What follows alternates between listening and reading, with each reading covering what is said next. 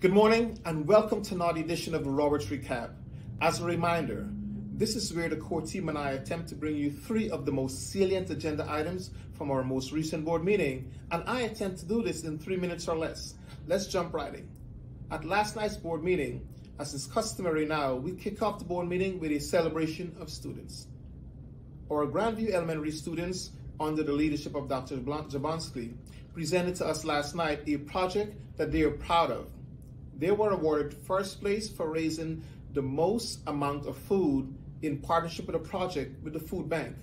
Our Grandview Bees were able to raise 800 pounds of food, where they were going to donate it to the food bank in order for us to meet the needs of a lot of our community members near and far who are either parts of food deserts or who do not have access readily to healthy, safe foods.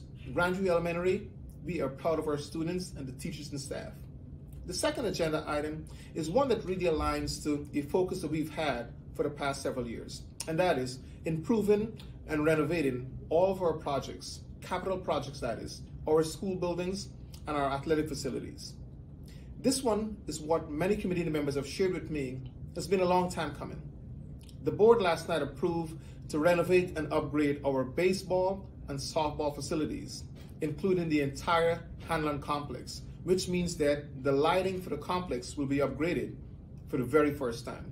This project will cost the district and the board approximately $4.7 million, but it's a worthy investment.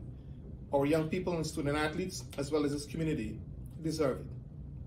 One of the projects that was placed in hold or given a little bit of a pause is the renovation and upgrade of McDowell High School. This is a project that will cost us approximately $40 million. And the board will certainly receive some additional information from my core team, my CFO and I, and we are certainly looking forward to receiving additional input from our McDowell families.